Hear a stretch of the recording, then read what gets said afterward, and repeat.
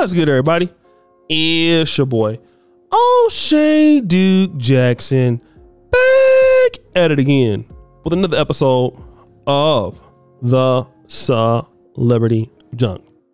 Actress Jay Ellis has tied the knot with Nina Senicar over the weekend.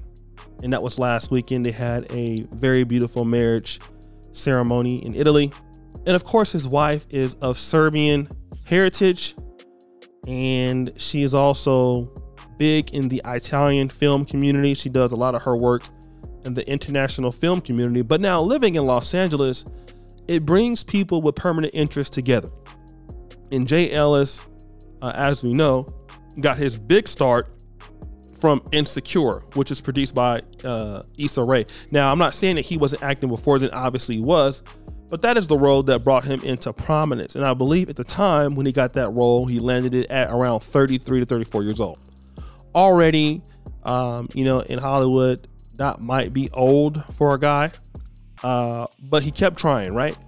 And once he became Lawrence on Insecure, it made him very big especially in the black female um, dating community.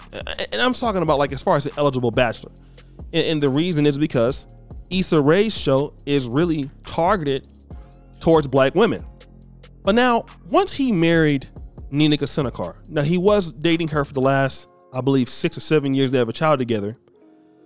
Black women in the comment section really said some nasty things. I'm not saying all black women, of course, it was not all of them, but it was so bad that he had to turn off the comments to, to avoid criticisms of his interracial marriage. Now, let me just say this: we have some black men who are in, you know, the black world community, the Pan African community, and of course, some of those brothers are going to have things to say about interracial marriage and things like that. Um, but now, most black men are not going to have enough time on their hands to come by and you know comment on your particular situation and start to talk shit about your relationship. Most black men are not going to do that. If you really want to be honest. Most black men are not going to do that. Okay? Now, who typically does that? It's women. And I'm going to tell you um, how I know that to be true because most women, um, especially if it's singers like uh, let's say Bilal, um, you know, R. Kelly, people like that. They feel that these people, well, because they are in the black female entertainment, you know, spaces, that they owe black women um, something. All right, that's the, that's the truth. You know, you you're in our entertainment space, so you owe us the fact that you're going to be with a black woman. And so you had all these things of people calling him names people saying things about him. Oh, he's a sellout. You know, he don't want to date sisters. And even this sister here had to come and uh, talk about it. Um, her name is a journalist. Y'all harassing Jay Ellis on his Instagram photos of his wedding just because he married a white woman is a little gross for me. She doesn't deserve that, and neither does he. Another person says, I respect Jay Ellis turning off his comments. Bro, proactively close up a channel of disrespect that could be aimed at him, his wife, and his happiness. Protect your peace. But now, one thing I want to say about this if it's a black woman marrying a, uh, a white man, do you see that? Black women are never gonna go ahead and do that. Okay? If a black woman is marrying a, a white man, are they gonna go to uh, Serena Williams' comment section and start saying that? No, they're gonna congratulate her. Oh, girl, get you a white man. Oh, girl, you're doing good. But now it's only if the black man does it. Okay? It's only if the black man does it. Here's proof. The brother here goes, now y'all trying to drag Jay Ellis, but didn't have the same energy for Quinta and her white partner. So black women can dance out their race and it's fine, but y'all dragging a black man for doing the same thing in the math not mathing. That's exactly the fucking truth. And here's the reality. These are the men that y'all don't want nothing to do with until they become somebody. I'ma say it. Most of these black men, when they are 33, 34, ain't made it yet. Most women will get, they not talking to, to those dudes. And I know that because I was one of them. When I was 33, 34, don't get me wrong, I had one or two sisters that was interested in me, but not like it could possibly be now. right? Because at that you you, you haven't made it yet. See, some sisters want to be able to st- sit there at the finish line and wait for the guy to be done, and then okay, I'm ready to date you now. You you making a, a quarter million dollars a year. Now I want to be with you, but you wasn't there when that guy wasn't doing very well. You there now. You wasn't there when that guy was broke. You there now. And now when the brother went to the Breakfast Club and says that his wife is what keeps him happy outside of his acting career, well, where were you? Okay?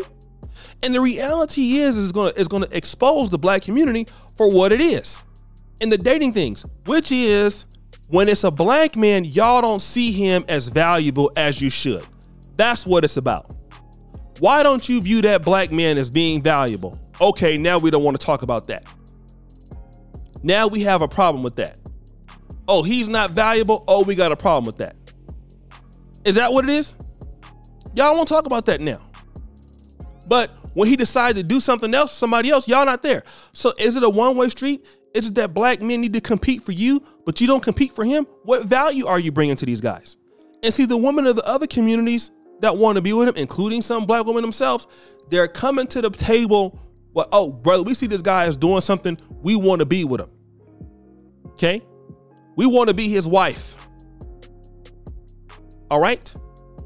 We want that. But now, why are y'all not saying that? Our sisters coming to the table saying that we want to do that. My answer is, where where's the evidence? You don't want to compete for the guy that y'all complaining about, but at the same time, he gets somebody who does want to compete. It's a problem. I talked about Angela Simmons the other day. Angela Simmons um, is now body positive.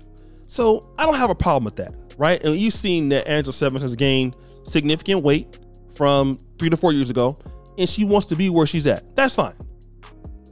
I had a problem with that.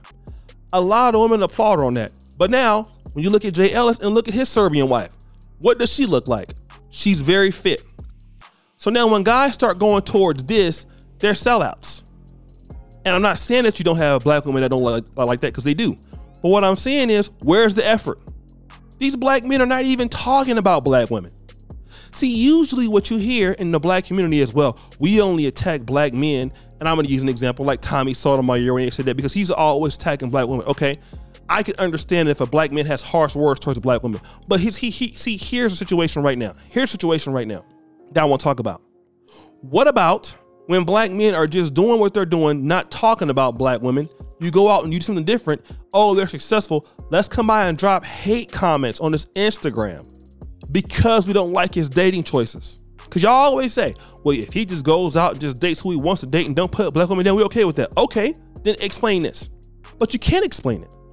Because see, certain people expect that black men are supposed to take whatever that you're putting out. And it's not the case. But guys, what do you think? It's your boy, O'Shea Duke Jackson, back at it again It's another episode of Celebrity Junk. I already appreciate you for all that you do. Subscribe at the bell. Check out the first clip at the top. And as you know, the buffoonery remains an all time high. I'm out.